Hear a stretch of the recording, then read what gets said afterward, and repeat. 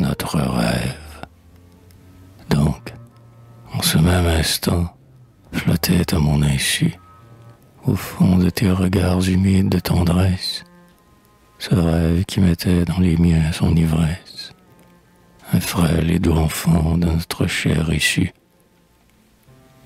Notre enfant, quel espoir en lui serait déçu Quel don ne recevrait avec son droit d'aînesse? Ce fruit de notre force et de notre jeunesse, ce fils en plein bonheur, en plein amour conçu. Car pour te révéler jusqu'au bout ma chimère, je veux un fils. Les fils ressemblent à leur mère. Qu'il ait tes yeux, tes traits, ta fierté, ta douceur.